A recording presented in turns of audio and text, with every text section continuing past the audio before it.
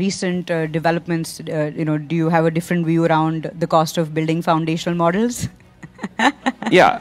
Um, so first off, that's a if that's a reference to a comment I made here a few years ago about the cost. Uh, I think that was taken out of context. Um, that was a very specific time when there was a certain scaling thing where I thought, you know, it's gonna, and I still think to stay on that frontier of pre-trained models is expensive, but one of the most exciting things that's happened to me since, that I think has happened in the industry since, is we're now in a world where um, we made incredible progress with distillation. We learned a lot to do small models, and these reasoning models in particular can be, it's not cheap, it's still expensive to train them, but it's doable.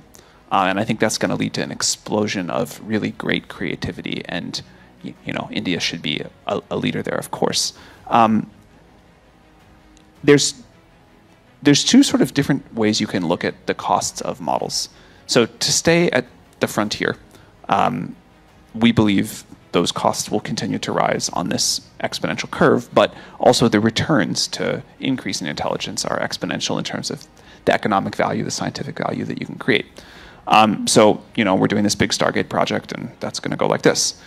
On the other side of it, um, the, the cost for a given unit of intelligence one year later seems to fall by about 10x.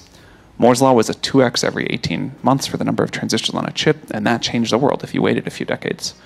But what's happening with the reduction in cost in AI models is, is extraordinary. Now, I don't think it means that the world's going to need any less AI hardware because you bring the cost down and just the people are going to use it for a lot more things. The total number of dollars will go up.